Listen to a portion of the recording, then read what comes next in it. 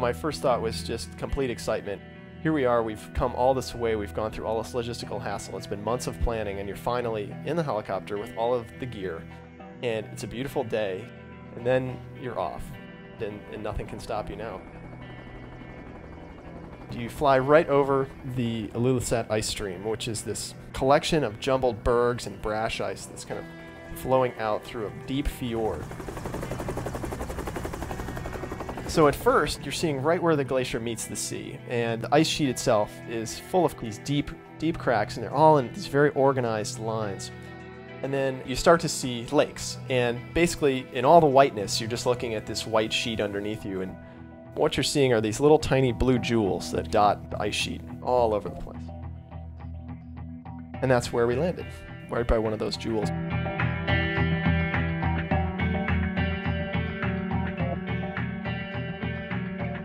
You know, as that helicopter flies away, you have this realization that it's just you and the ice and what you brought with you, and you really hope that you have everything you need.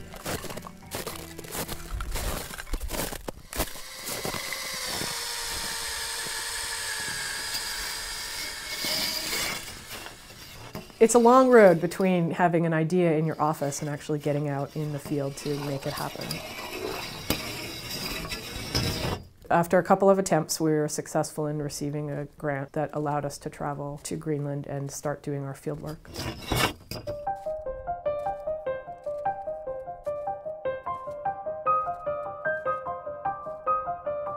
One of the things that's changed even since I've been a student is our awareness of how the planet is warming up. This warming is amplified in the Arctic, where the Greenland ice sheet is located. And so a lot of our work now has been focused on trying to understand how the Greenland ice sheet may respond to this climate warming. The ice sheet holds enough water that if the entire ice sheet were to melt, it would raise the global sea level by over seven meters. In fact, over the last decade or so, it appears that it's been melting more and more rapidly and that we've been losing more ice to the ocean. There are over a thousand lakes that form on the margin of the Greenland ice sheet in the summertime, and we needed to pick just two to study in detail. And we ended up picking two lakes that we've creatively named North Lake and South Lake. So what we set about to do was to try to understand how you might be able to get the surface meltwater all the way to the bottom of the ice sheet in these thick cold ice areas. And one idea that we had was that in regions of the ice sheet where you have meltwater lakes, they pool and collect meltwater throughout the summer. And you could use that pool of water to actually drive a crack down through the ice sheet and drain all of that meltwater to the base of the ice sheet. The water lubricates the base of the ice sheet, allowing the glaciers to flow faster towards the coast and discharge more ice to the ocean. As global temperatures rise, more lakes and cracks may form even further inland, accelerating the flow of ice to the sea. So we set about to test these theoretical models, which had been known for a few decades, but no one had actually observed this happening in these areas.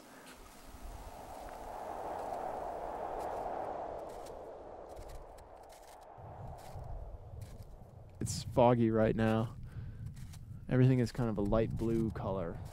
Sky is just white. We're in thick fog. It's hard to see anything really. So before this year, everyone always asked me, well, what is it like when the lake drains? And I had to say, I don't know. I was never there.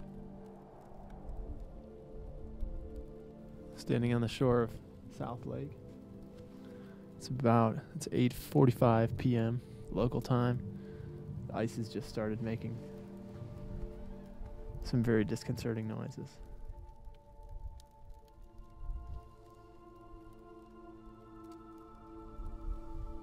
The day that it drained, we didn't have any real knowledge that it was going to happen. It was exciting to think that it was dropping, but we really didn't think it was going to drain in a catastrophic fashion by splitting apart the bottom of the lake. There's these sounds exploding all around us. Also, just heard kind of a deep bass rumble, like thunder, way in the distance. It could be a big crack opening up. It really seemed to be like something violent was going on. and you couldn't actually see the lake anymore. There was just no more water left to see.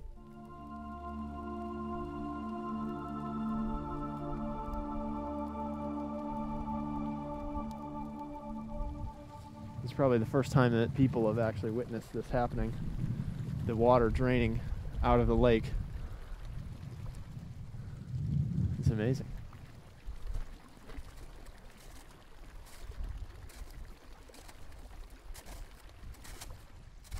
You got the sense that the ice sheet itself was crumbling under your feet. And you sort of looked at each other and looked at your camp and hoped that a large gaping hole didn't open up underneath you. And after a couple of hours, all the noise stopped. Everything seemed to go quiet again. And we decided, well, we'll go for a hike.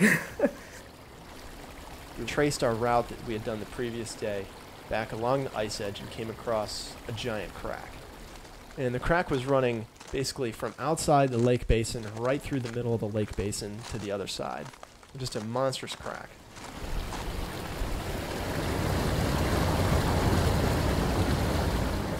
It's impossible to get up underneath an ice sheet yourself, so you're left with trying to come up with experiments that help you probe that environment remotely. Had come up with an idea to put a harmless fluorescent dye into one of the crevasses close to where our team was working, and to have another team 25 miles away on the coast try to detect it as it came out in the fjord. We can't pick up the ice sheet and see underneath it, so our idea was to try to paint a picture of water flow patterns under the ice using this dye. Unfortunately, we never found the dye on the coast. We're still sort of wondering where it went. What we were really trying to do was understand the processes that are happening underneath the ice. So once the water gets to the bottom of the ice sheet, what path does it take? How long does it take to get out to the sea? And that's a very important question if we want to understand the impact of this water on the ice flow.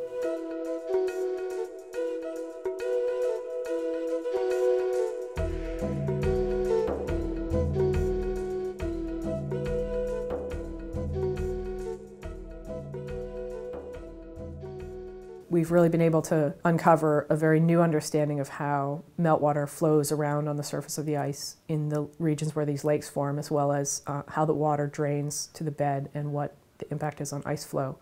And um, of course, as a scientist, every discovery leads to more questions. So, what we hope to do in the next few years is probe the processes a little more deeply. Once we have a much clearer understanding, those fundamental processes can then be scaled into ice sheet models which people use to then predict the future behavior of ice, say for the next 10 years or 100 years or 1,000 years. I think in the end, what the public is really interested in is how will sea level change on those timescales? How will this impact me?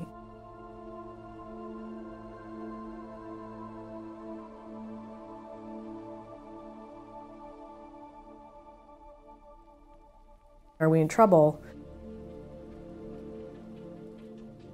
It seems now unequivocally clear that climate is warming on the planet and it's largely induced by human activity. It's amplified in the Arctic and Greenland in particular is quite sensitive. Greenland is losing more and more ice each year as this happens. So in the sense that we as a society have to worry about uh, increasing rates of sea level rise into the future, I think we absolutely do.